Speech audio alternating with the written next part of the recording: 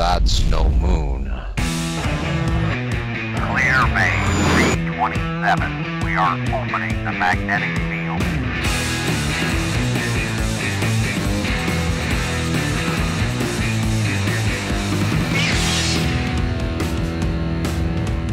Hello there, and welcome to Docking Bay 327.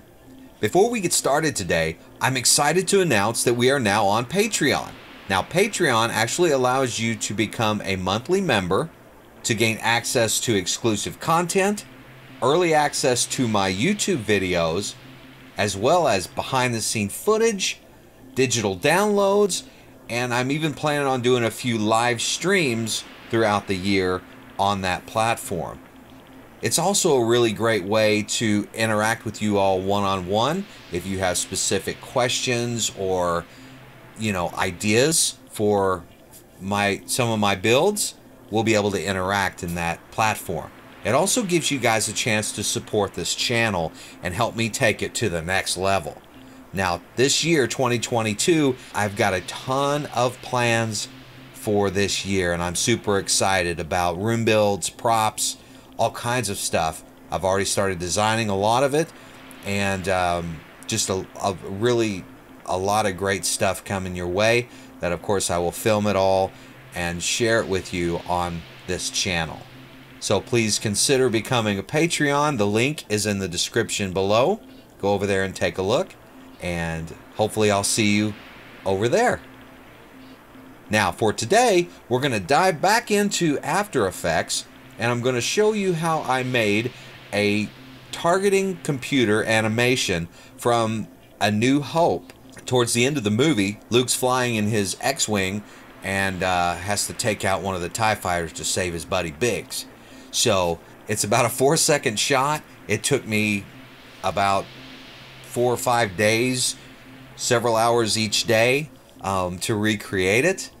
It's fairly simple, but it did require a lot of you know tweaking things and really you know adjusting it to get it just right. And so now I have an awesome animation targeting animation that I have displayed in my room over here in one of my props.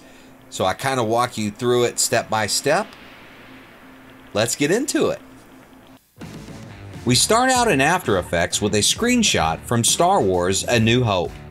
It's Luke's X-Wing targeting computer where he takes out a TIE fighter before he begins his trench run. I love the red and white icons too. The one in the upper right looks like a Mandalorian helmet, don't you think? As with all the graphics from this first movie, they are very primitive shapes and simple motion. I would assume because they had to create them by hand since they didn't have computers back then. Anyway, I start by making the HUD graphics. First, are the triangles on all four sides. I line them up to match the screenshot. I create the top triangle first, then duplicate it, flip it, and move it to the bottom since they match.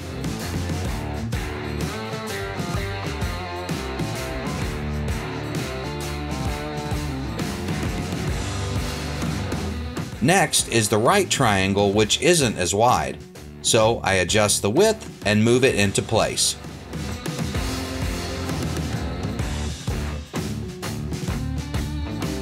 I duplicate that one and flip it around for the left side.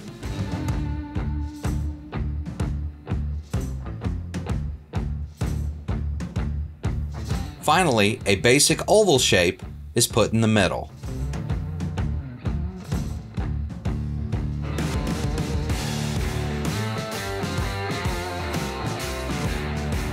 Next is the TIE Fighter. I draw a circle and then add the wing shapes using the pen tool. You can adjust the vertices individually so that the wing has the correct angle.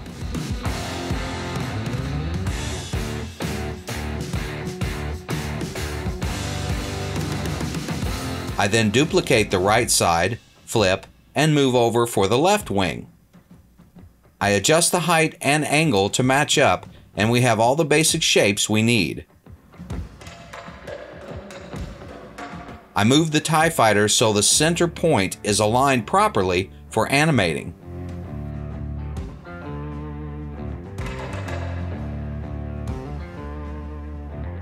some final adjustments to align everything, and we're ready to start animating.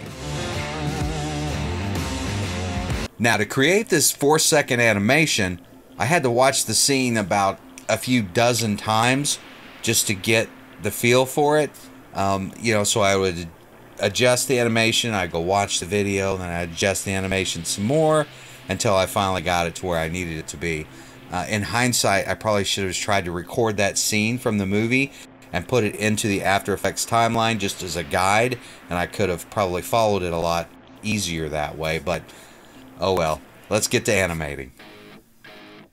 I start by creating a motion path using the pen tool. It doesn't have to be perfect because we can go back and adjust each point once we have attached the TIE fighter to the path. Let's watch this next bit as I walk you through step by step while I worked. Alright, so now that we have our path, we're going down in here to, to the actual path itself. We're going to copy it, Control C, then we're going to go up here and we're going to grab the TIE fighter. We're going to hit key P for position, and then we're going to paste and basically what that's done is it's created some keyframes from the path that I drew. Alright, so now we just hide that and we can see here that it's moving very similarly to want it to do. So Okay, so I've adjusted the the keyframes just a little bit, uh, which is kind of cool. You just kind of grab these Bezier curves and adjust it however you need to. This one down here, kind of stretch it out a little because we kind of want to go over here and down and up. Once I'm happy with the animation, I then create a new composition with all the layers, or what's called a pre-comp. I can then turn this pre-comp into a 3D layer so I can rotate the entire thing to match up with the perspective in the movie. I also add a motion blur to the TIE fighter. Now, at the end of the animation, the HUD graphics all turn yellow as the targeting locks onto the TIE fighter. It also does a quick fade, which is a cool added effect.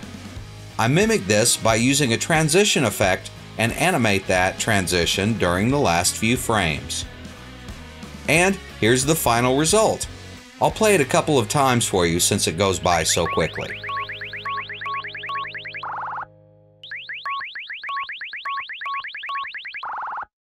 So there you go. Luke's targeting computer in his X-Wing as he gets ready to take out a TIE fighter. Hope you enjoyed this video.